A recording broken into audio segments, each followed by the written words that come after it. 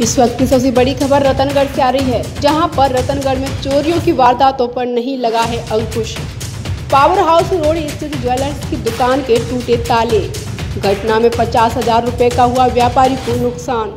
बीते एक माह में चोरी की है रतनगढ़ में यह चौथी घटना। घटनाओं का पुलिस नहीं कर पाई अभी तक खुलासा।